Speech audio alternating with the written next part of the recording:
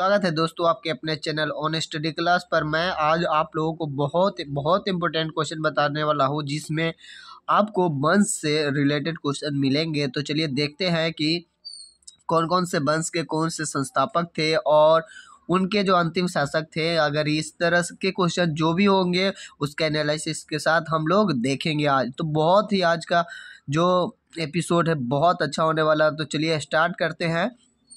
आज का जो पहला पॉइंट है, उस पॉइंट को आप देख पा रहे हो कि मौर्य साम्राज्य के पतन के बाद मगध क्षेत्र में, यानी कि हम लोग पहले देख लेते हैं एनालिसिस को, उसके बाद क्वेश्चन ऑब्जेक्टिव को करेंगे और आपको पता हो जाएगा, आप जो भी एग्ज़ाम की तैयारी कर रहे हैं कि क्वेश्चन हमको कैसे कलेक्ट करना है। किसको पकड़ना है, जिससे हमको एग्ज़ाम वहाँ पर क्वेश्चन आ सकता है। तो मैं अभी आपको एक छोटा सा जो है इम्पोर्टेंट जो है क्वेश्चन को बताते चलता हूँ। अगर आप लोग और भी डिटली डिपली पढ़ाई करना चाहते हैं, यानी कि बहुत लेवल यू यूपीएससी जैसे एग्ज़ामों को क्वालिफाई करना चाहते हैं तो आप एकदम इसको डिटेल में पढ़ना होगा।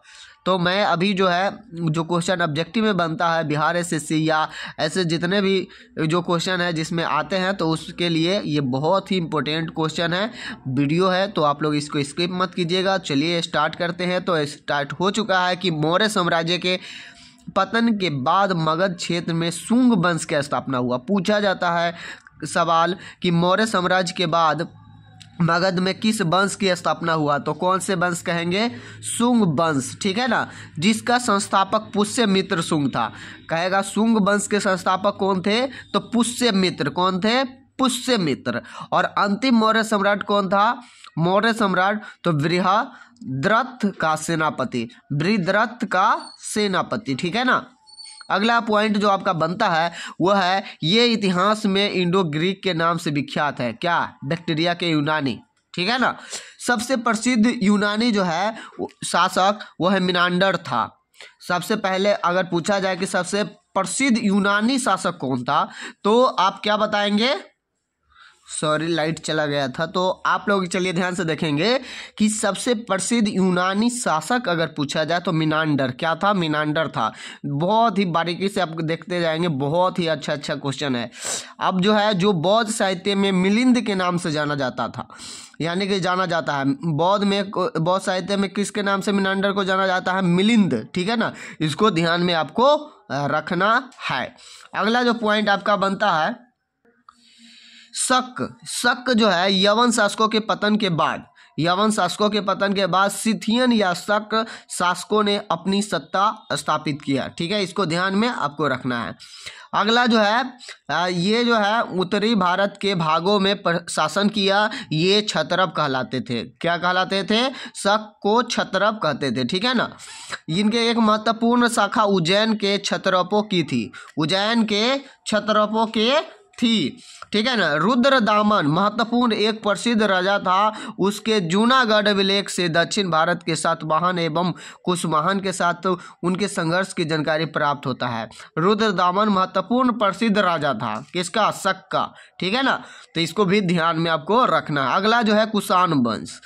विदेशी आक्रमणों के, की श्रृंखला में कुषाणों का स्थान सबसे महत्वपूर्ण रहा। ठीक है ना? कुषाण, यू, ची कबिल कबीला का एक सखा थे। किसका कबील सखा थे? तो कुषाण यूची कबीला का, ठीक है ना? इसको ध्यान में रखना है।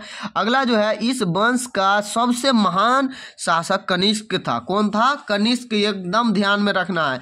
कुषाण वंश का जो शासक था, कनिष्क था, ठीक है ना?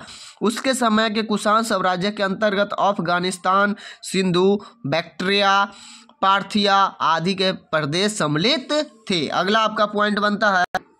वह कि कनिष्क मगध पर आक्रमण कर प्रसिद्ध विद्वान अश्व घोष की, को अपनी राजधानी पुरुषपुर पेशावर ले आया था। इसको भी आपको ध्यान में रखना है। फिर आपका जो नेक्स्ट पॉइंट बनता है कि रेशम मार्ग जहाँ से रोम एवं चीन के बीच रेशम का व्यापार होता था, पर कुषाण साम्राज्य का नियंत्रण था। किसका नियंत्रण था? कुषाण साम्राज्य का।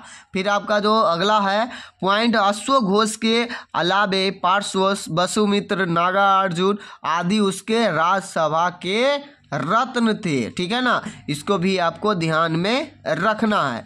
फिर आपका जो अगला पॉइंट है, वह है कि इसके साथ ही त्रिदेव ब्रह्मा विष्णु और महेश की धारणा की प्रवृत्ति हुई। किसके? बौद्ध धर्म के विस्तार के बाद, इसके साथ ही, ठीक है ना? तब यहाँ से अगर आपको थोड़ा सा पीछे से लेते हैं तो पुष्य मित्र गंगा ने ब्राह्मण धर्म को बढ़ावा दिया, जिससे यज्ञ और क्या हुआ? बलि की प्रथा का विकास हुआ। इसके साथ ही त्रिदेव यानी कि ब्रह्मा, विष्णु, महेश जो है, ये सब की पूजा होना शुरू किए गए। कई विदेशियों को इस धर्म को अपना लिया गया है। तो उसी तरह से आगे अगर हम लोग बड़े पॉइंट की बात करें तो हिंदू यूनानी शासकों ने अपने सिक्कों पर बौद्ध चिन्ह अंकित किए। यह भी एग्ज़ाम में बहुत बार पूछा गया कि हिंदू यूनानी यवन शासकों ने अपने सिक्के पर बौद्ध चिन्ह अंकित किया। बौद्ध चिन्ह अंकित करने वाले कौन थे? तो हिंदू यूनानी, ठीक है? फिर है, अगला जो है पॉइंट हुआ है, कनिष्क बौद्ध धर्म का अनुयायी हो गया। कनिष्क जो है, बौद्ध धर्म का क्या हो गया? अनुयायी हो गया, यानी कि उनके हिसाब से चलने लगा। उनके धर्मों को मानने लगे। तो चलिए, अगला जो पॉइंट है कि व्यापार के ही क्रम में अनेक भारतीय व्यापारियों ने कासगर, खोतान, चारकंद, तुरफान, मीरन आदि स्थानों पर व्यापारिक केंद्र की स्थापना की गई। तो ये तो व्यापारिक केंद्र था, इसको भी आपको ध्यान में रखना। अगला जो पॉइंट बनता है, वो है महात्मा गांधी की मृत्यु के तुरंत बाद ही। उनके शिक्षाओं के संबंध में वाद विवाद पर आरंभ हो गया, जिसके स्वरूप क्या हुआ? बौद्ध शाखा जो था, वो दो भागों में बट गए। हीनयान और महायान। ये भी इंपॉर्टेंट बात है। तो हीनयान शाखा के अनुयायी महात्मा बुद्ध की मूल शिक्षा में विश्वास करते थे और महायान मत के मानने वाले लोग ने बोधि सत्व का आदर्श प्रस्तुत किया, ठीक है ना? इसको ध्यान रखना है। इसी प्रकार महायान बौद्ध धर्म में भक्ति की अवधारणा का विकास हुआ, ठीक है ना? इस सबको एकदम आपको ध्यान से देखना है। ऑब्जेक्टिव भी आप लोगों को कराएँगे और आप देखेंगे कि इसमें से ऑब्जेक्टिव आपको बना या नहीं। यहाँ पर जो है, थोड़ा सा देखना है कि उनमें तोरण और रेलिंग की सजाने के लिए लकड़ी और हाथी के दांत का सुंदर उपयोग होता था। अब अगला जो पॉइंट आपको बनने वाला है, वो है शैली से। क्या है? शैली। तो पहले हम देखते हैं सुंग शैलू। तो सुंग शैली जो है, सुंग कला में स्तूप के चारों ओर की ऊँची चहार दीवारी बनाई जाती थी। तथा तो उनके जो है चार तोरण द्वार लगाए जाते थे, जिसके जातक कथाओं बौद्ध चिन्हों, नाम एवं अप्सरा की मूर्तियाँ से सजाया जाता था। जैसे भा, भारहूत और सांची का स्तूप इस कला का उदाहरण है। जैसे कि आप लोग शैली के बारे में देखें तो अभी जो अयोध्या में जो राम मंदिर बना है, वो कौन से शैली है? पता है ना आपको? कौन सी शैली है? हाँ आपको पता है नागर शैली है। तो इसी तरह से गंधार शैली को भी हम थोड़ा सा देख ले तो यूनानी कला के प्रभाव से जो है, पश्चिमोत्तर प्रदेश में गंधार शैली का विकास हुआ। तो गंधार शैली में जो है, भारत यहाँ पर है, इस शैली का अधिकांश मूर्तियाँ बुद्ध के जीवन यात्रा से संबंधित है। गंधार कला की अनेक मूर्तियाँ लाहौर तथा पेशावर के संग्रहालयों में सुरक्षित है। भारत के बाहर इस कला का व्यापक प्रभाव है। इस शैली का इंडो ग्रीक शैली भी कहा जाता है। इसको थोड़ा सा ध्यान रखना है। इसको क्या कहा जाता है? इंडो ग्रीक शैली, ठीक है ना? मथुरा शैली को देख लीजिए। तो कुषाण काल में मथुरा भी कला का प्रमुख केंद्र था। इसमें बुद्ध की मूर्तियाँ बनाने में स्पष्टता सोच भारतीय है।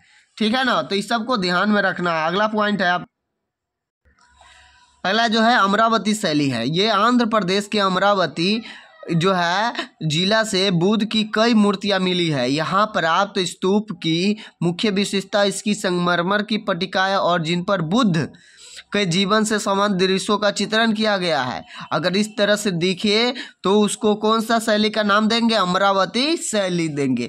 तो इस तरह से अगर आप लोग अगर बीपीएससी का तैयारी कर रहे हैं तो इसके सब्जेक्टिव के लिए ये सभी जो है ना बातें आपके लिए बहुत फ़ायदेमंद है। तो इसको आप लोग नोट कर सकते हैं। अगर आपके पास है तो इसको भी डिटेल से देख सकते हैं। तो चलते हैं हम लोग ऑब्जेक्टिव क्वेश्चन की तरफ़। आप लोग देखेंगे कि कौन कौन से क्वेश्चन आपको आ गया।